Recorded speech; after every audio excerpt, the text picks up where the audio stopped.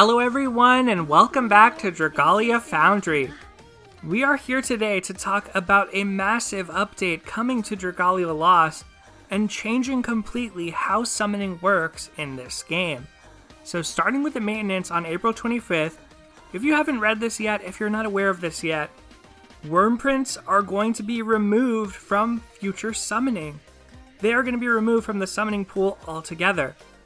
Now, this is a crazy change to me, as although we'd seen a lot of player feedback about being disappointed with getting Wyrmprints, wanting to summon dragons, wanting to summon adventurers, in my opinion, Dragalia was handling it pretty well. They were moving in a gradual direction where they were strengthening Wyrmprints with things like the weapon specific Wyrmprints, and they were reducing the number of featured Wyrmprints on showcases from two new 5 stars to only one new 5 star. So I am really shocked to see this move. I have to assume it's been well considered and well thought out, and that there's a plan going forward. But this is absolutely a crazy change to how summoning works in the game. And as we'll see, now Wyrmprints will be acquired through an in game shop. So just this week, I spent 28,000 Wyrmite targeting a specific 5 star Wyrmprint for respawns. So hopefully, this means that will never happen to anyone again. Now, we'll go into detail as to why that really wasn't so bad for me when it comes to how Wyrmprints will be acquired from now on. But first, I just want to talk about what I think this means to the game and why this type of change is so important. So, to me, this signals that Cygames and Nintendo are very interested in the long term health of this game, the happiness of the player base, because this is a fairly generous move. And I don't think this is a move that you make if you're depending on whales for a lot of your game's income, because this makes it exceptionally easy to get any Wyrmprint to complete the entire collection of Wyrmprints just by filling out the shop, and it should make it easier to target 5 star adventurers and 5 star dragons, basically throwing my summoning advice video completely out the window. So we don't yet know how high an appearance rate featured adventurers and dragons will have after these changes, but we do know that the total appearance rate for 5 stars is not going to change, and obviously Wyrmprints are not going to be included in that anymore, so we have to assume that you know, it's going to be more likely that we'll get adventurers and dragons. Obviously, there's no Wyrmprints, so we're not going to be getting those. But the other thing I want to make a comparison to is actually Fire Emblem Heroes. Especially since we are getting a crossover event very soon. So, we also found out that that update, when that maintenance will happen, is basically the launch of Fire Emblem Lost Heroes, the crossover event. But Fire Emblem recently had a Feh channel where they changed the summoning pool, and their approach was to remove a lot of older units and make it so that on new hero banners and special hero banners going forward, those units wouldn't appear. And I think this was a very good change. I think people are happy with it. There's some controversy in the community, but I think for the most part, if you really wanted to plus 10 those units, you had to wait for a focus banner anyway that would be a rerun banner or a skills banner.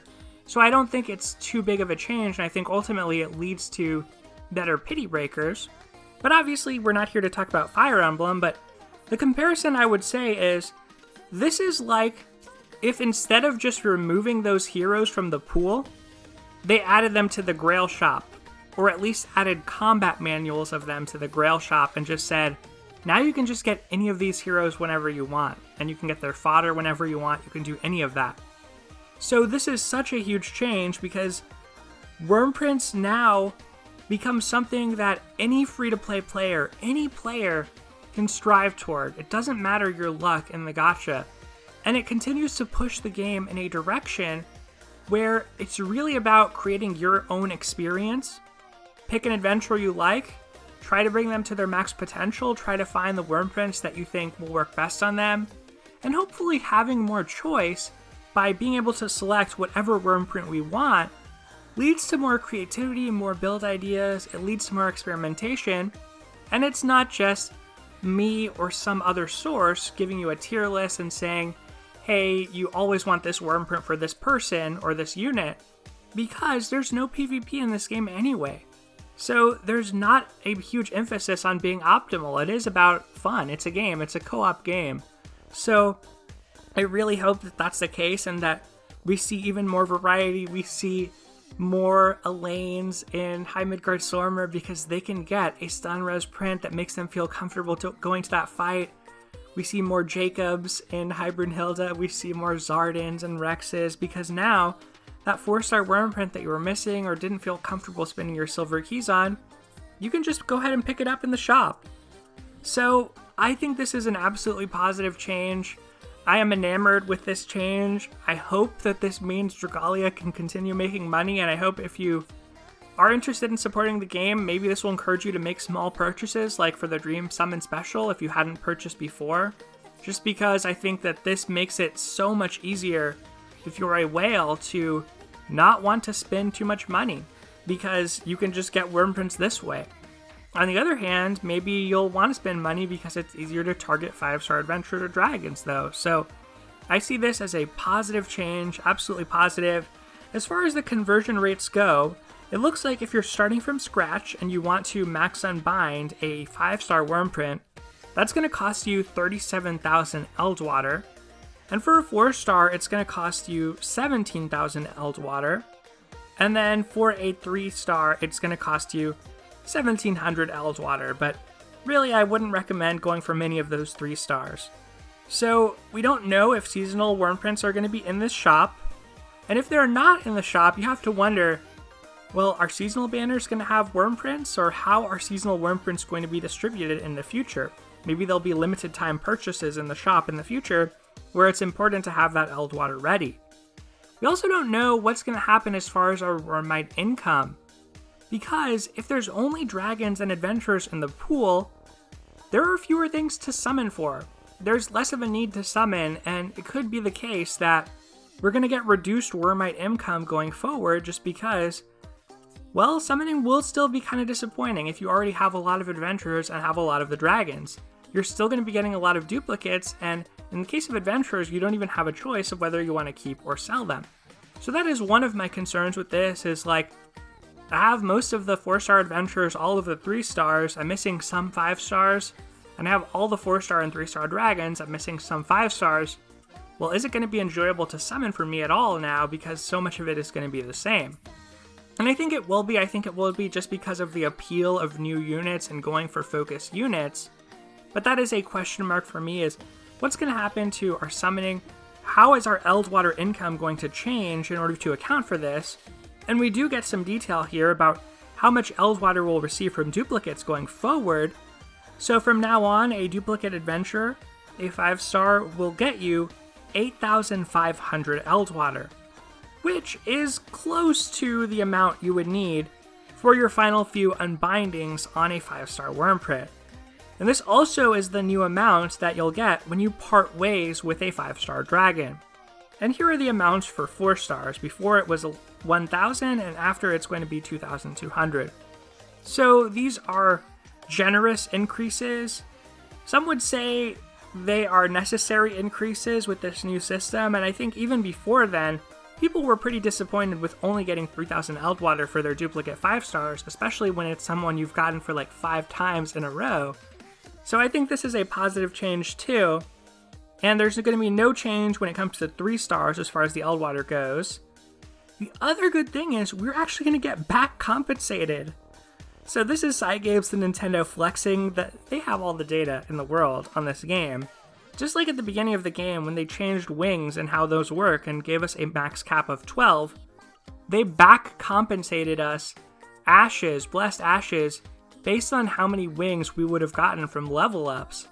So this is similar if you have already sold any dragons at 4 star or 5 star, or if you've ever gotten a duplicate 5 star adventurer, or if you've ever gotten a duplicate 4 star adventurer, you are going to be gifted the difference in Eldwater from before to after. So for every duplicate 4 star you ever got before, you're going to get 1200 Eldwater as of this update in your box. For every duplicate 5-star adventurer, you're going to get 5,500 Eldwater. So, absolutely crazy that they can actually go back and do this. And that could mean a ton of Eldwater. So, looking at it roughly, I did the math. It seems like there's about 25, 26 four star Wyrmprints and about 35 star Wyrmprints. Maybe reverse those, but in any case, the way it turns out, it seems like you need about 1,500,000 Eldwater. And if you have that much, you could just buy and max out from scratch every Wyrmprint currently in the game that's in the gacha pool. So, I don't really know what to think about that. I mean, you're going to have so many options available to you, which is good. Of course, we'll have to wait and see all of the details, but it's just unbelievable to me. I mean, as far as guides go, you can easily emulate the Wyrmprint setup that somebody else has going forward. Another question mark will be how much consecrated water we're going to get, because that's used to level up Wyrmprints, and that can be in short supply at times, so hopefully we'll get more. As far as what else we'll get, though, is we're getting a thank you gift. So we're going to get 4,500 Wyrmite, enough for three tenfolds, and 25,000 Eldwater, which will also come out on this day. That is going to be a huge day for Dragalia right at the beginning of Golden Week, so maybe that portends a very exciting event. I'm hoping it's going to be a raid event for Fire Emblem Heroes, Fire Emblem Lost Heroes, the crossover. And to me, it seems like there will probably be a banner because if you're going to have this summoning change, you want an exciting banner to show that off. So I really think that it's not just going to be a free adventure. I think there's going to be a banner for this now, and so I'm going to start saving for this. At first, I read a lot of your comments, and you said that a lot of Cygames crossovers, it is free. The adventures you get are free and limited from that. I think we'll probably get a free adventure if it's a raid, but then there will also be a banner to go along with this because there has to be a good banner for that new change. So that's just my thought on that. Dragon Special is live, Void Agni is live. I haven't taken a look at Void Agni yet. I'm going to do that later today. All in all, I am absolutely amazed that this summoning change is happening. I am very excited. You can see I went ahead and purchased there for my Dream Summon because I wanted to show my support for the game after making a big change like this. So I'm going to collect my rewards. I did get the $8 beginner's pack so now I've spent a total of $18 in the game since it launched. Not too bad, and we're going to purchase. And I do think now, with how much easier it should be to get 5-star dragons, there is a lot of appeal. It's more realistic than ever before that you will actually be able to max unbind some of these 5-star dragons, despite the income of sunlight ores being fairly slow, or fairly low and slow to accrue. But in the end, I am going to just go for a favorite unit.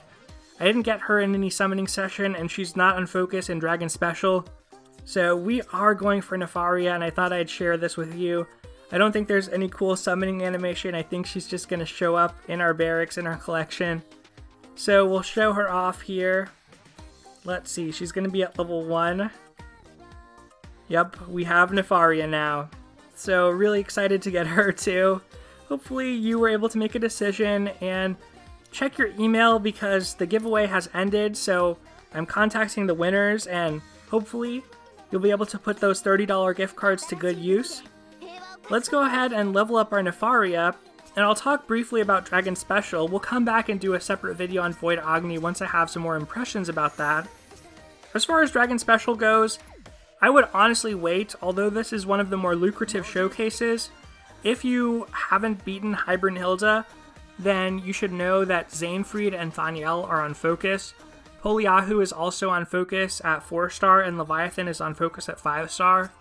So if you haven't beaten High Brunhilde, there is some appeal, there's some reason that you would want to summon on it. Otherwise, Garuda is not the greatest at 5 star. Although she may be necessary, she'll probably at least be good on low end for High Mercury, she might even be necessary depending how much HP you need in that fight. So that is a consideration, but I don't think she's one of the better 5-star dragons. Cupid is absolutely outstanding though, so he is a very appealing and good dragon. As for me though, I am just going to wait because of the Fire Emblem Lost Heroes coming up. Even if there's a chance that that is going to be a showcase and not just a free thing, then I want to have some amount of resources dedicated to that, and maybe we'll even get a new bow unit for our collection. Maybe Lyn will be wielding a bow instead of a blade. We're going to have to wait and see. But in my opinion, I would just wait on Dragon Special. I don't think it's really worth summoning for right now.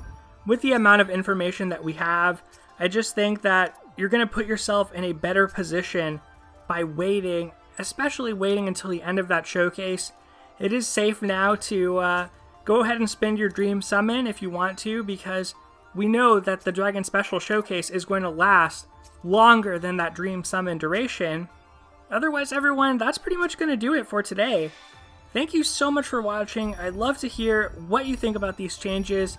Is this enough to satisfy you? Do you feel like the summoning pool, the summoning situation has been resolved? Do you think that this was a step in the right direction? Is anybody disappointed that Wyrmprints are going to be removed? I am very, very curious to hear what you have to say. So, as always, take care, everyone, and I'll see you next time.